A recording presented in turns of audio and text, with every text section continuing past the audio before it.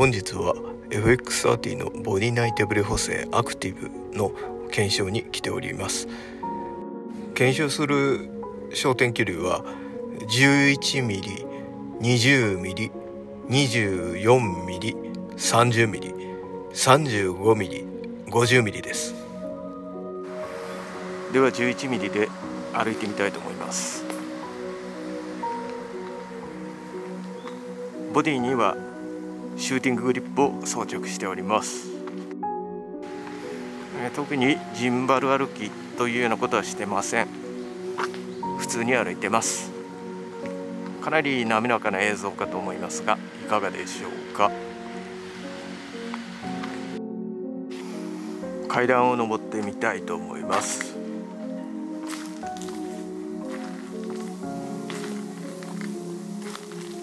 モニターを見る限りかなり滑らかです。このまま取っ手出しでも使えそうです。1.5倍をして16.5ミリに、えー、してみたいと思います。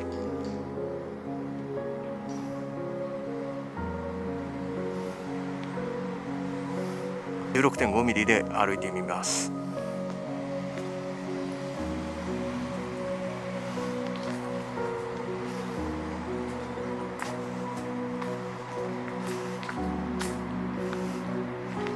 普通に歩いてますがいかがでしょうか？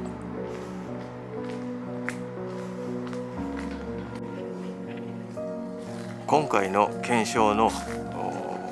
背景はボディ内手ブレ補正アクティブの、えー、効果の限界値ですね、えー、どのレンズのですね焦点距離あたりまでが限界なのかあというのを一つあの知りたい。という思いがあります。で限界というのは何なのかっていうと、えー、シューティンググリップにですねボディを乗せて普通にあの映像を歩きながら撮れるかどうかそれがあの一つの目安になるかと思います。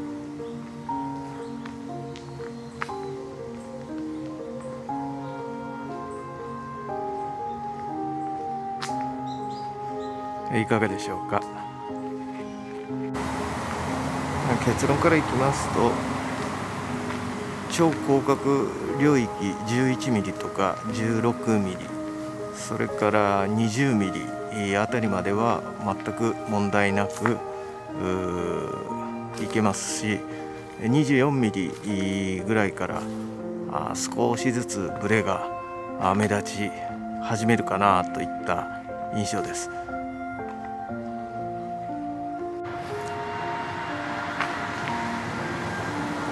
あのレンズ構成ですけれどもこのレンズ自体には手ブレ補正が内蔵されておりますのであの実際そういうのも影響してるのかなと思わないでもないんですけれどもしかしあの手ブレ補正アクティブとかそういう機能がない α6400 に同じレンズを載せて歩くともうブレブレで全く使い物にならないので、えー、歩き取りという観点からするとレンズ内手ブレ補正は、まあ、ほぼ役に立ってない、えー、というようなあ現状です、えー、20mm の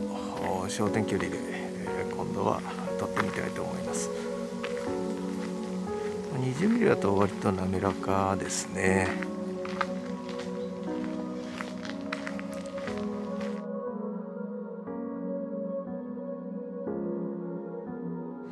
次に、えー、24mm を試してみたいと思います。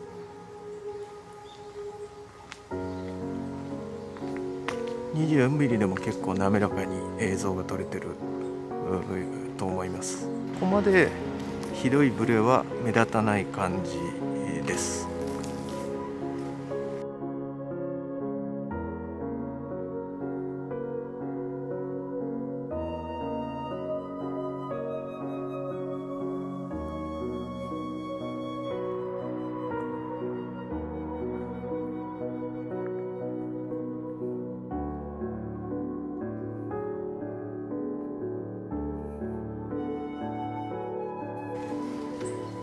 次は 35mm です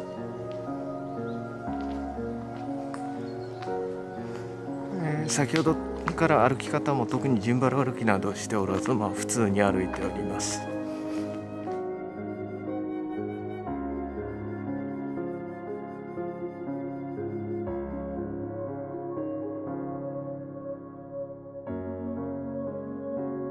目見てもかなりブレてる感じがいたします実際これでそのまま見られる絵として、えー、出せるかというとちょっと厳しいのかなという感じですね。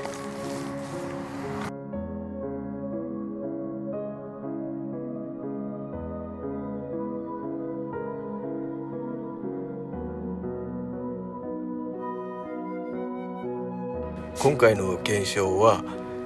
旅の Vlog 撮影やスナップ撮影などにおいてジンバルを使わずにどれだけ同じような滑らかな映像見れる映像が作り出せるのか。すなわち